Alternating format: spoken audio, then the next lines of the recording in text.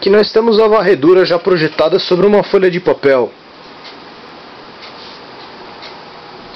Pode-se ver perfeitamente projetado no local.